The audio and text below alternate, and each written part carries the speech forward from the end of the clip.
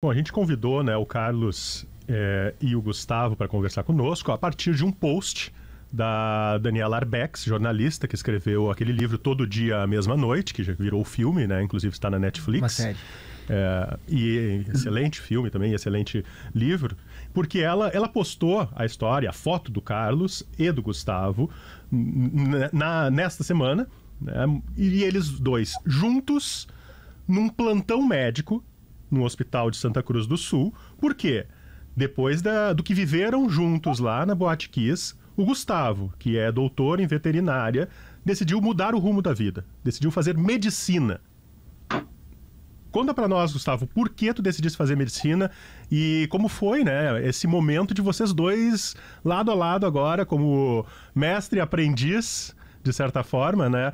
Uh, um momento, imagino, muito emocionante. Bom, o desejo em fazer, em cursar medicina, ele já era antigo, sabe? Eu já tinha ele há muito tempo dentro de mim. E assim, eu sempre. A gente acaba, às vezes, quando adiando sonhos ou aquelas vontades, assim, você acaba. A vida vai te mostrando alguns rumos, assim, né? Mas eu sempre tive na minha mente que algum dia eu queria, pelo menos, tentar, queria entrar, queria. Eu queria ter essa experiência em trabalhar como médico algum dia.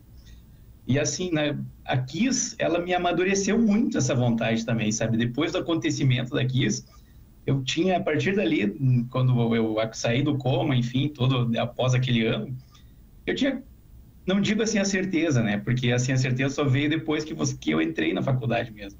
Mas eu tinha quase certeza que um dia eu ia atrás desse meu sonho. E graças a Deus eu consegui colocar em prática essa, essa, essa minha vontade. E a minha vontade também era justamente retribuir tudo aquilo que os profissionais fizeram por mim, né? Não só no dia do incêndio, mas todo uh, o, processo que quando a gente ficou internado e também todo pós, o pós-trauma que também é muito, foi muito demorado, foi muito longo. Aquele acolhimento que eu senti foi muito importante também, sabe, na, na tomada dessa decisão ele foi muito bem acolhido, eu me senti muito bem abraçado por todos, sabe?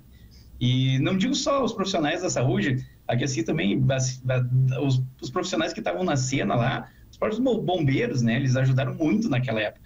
Mas assim, eu tinha essa vontade dentro de mim de querer poder retribuir de alguma forma positiva para a sociedade uh, todo esse acolhimento que eu tive. Gustavo, tu sabia que o Carlos estava ali? Vocês conversaram antes? Vocês são amigos? enfim, o, o, plantão foi uma coincidência de uma amizade que já existe. Vocês é, se conversaram ali, como é que foi esse, né, o bastidor dessa foto que se espalhou pelo Brasil?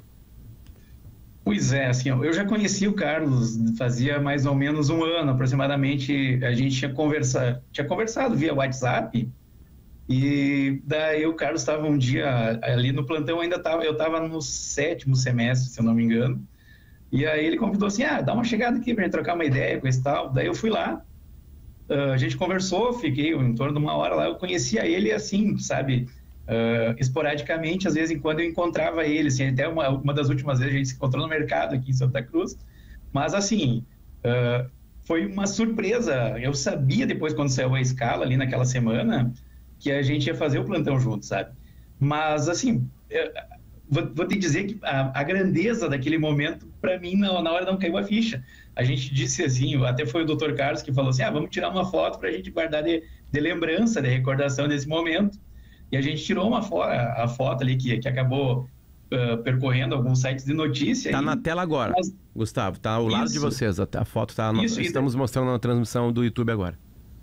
E na hora a gente, eu, pelo menos para mim, eu não tinha noção do, do tamanho simbolismo que aquela foto que aquele momento significava. A gente sabia, na verdade, sim, era, era a ideia de tirar foto, guardar, eu ia guardar para sempre, obviamente, essa foto, momento muito importante para mim, mas eu, sabe, quando vai, você vai vendo, assim, a, a grandeza de que aquilo, que aquele momento vai criando, assim, demorou um dia, eu fui ter a, a, a percepção maior quando a Daniela postou aquela, aquele texto, um texto espetacular, sensacional, assim, ó. vou dizer que até hoje, se eu ler novamente, eu acabo me emocionando,